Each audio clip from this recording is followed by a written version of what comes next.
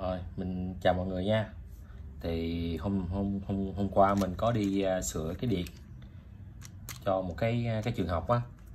Thì mình đi sửa một cái CB á thì mình thấy nó bị trường hợp này nè. Là cứ mở sẽ lên cái CB ở, ở đây CB tổng nha, CB tổng của lầu nha.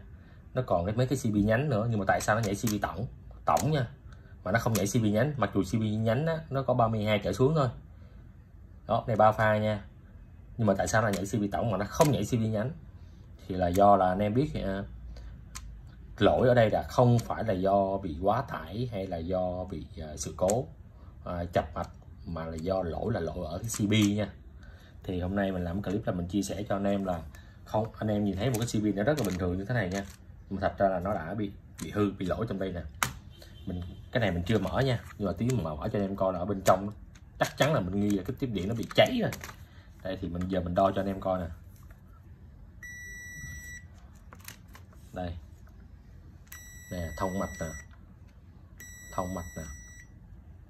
Đó pha này chết nè. Thì dẫn đến là gì? Cái pha này nó tiếp xúc không tốt đó, dẫn đến là nó sẽ nóng nó sinh nhiệt. Nó sinh nhiệt thì cái CB này nó sẽ có một cái ờ, chức năng là bảo vệ quá nhiệt nha. Nóng quá nó sẽ tự nhảy luôn. Đó không tin anh em lấy cái máy sấy, anh em sấy máy CB tự động nó nhảy cho anh em coi. Để bố mình làm clip cho anh em coi là sấy nó cũng nhảy đấy nha. Thì hôm nay mình sẽ mở ra cho anh em coi bên trong nguyên nhân mà tại sao cái CB này nó nhảy nha. Cái này thì nó hư rồi, nó hư rồi. có này nó có thể anh em về lấy hai test kia vẫn xài được nha.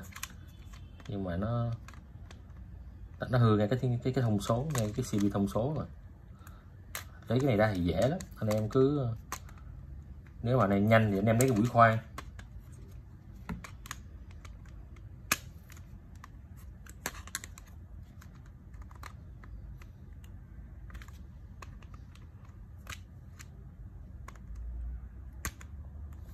Chứ hôm nay mình chia sẻ cho anh em là cứ không phải là cứ uh, nhảy là do chạm mạch hay là gì không? Nhảy này là do cái, cái tiếp điểm nó tiếp xúc không tốt thì dẫn đến nó sẽ sinh nhiệt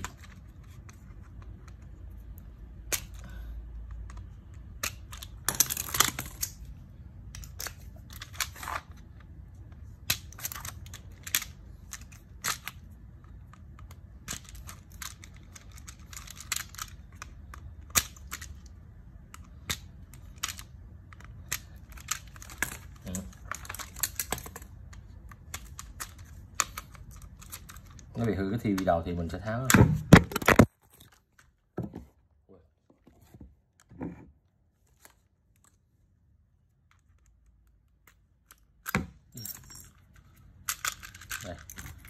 Đó, cháy nè anh em nhìn thấy không? Đảm bảo cho nè.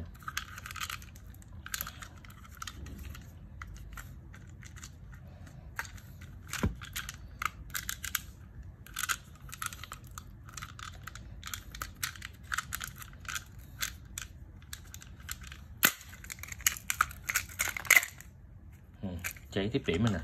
Anh em thấy không? Nó bị cháy nè. Ừ. và cái tiếp điểm nó cũng bị cháy luôn nè. Đây thấy không? Đây nè. Nè tiếp điểm nó bị cháy nè. Giờ để là nó tiếp xúc không tốt nè. Nó cháy luôn tiếp điểm.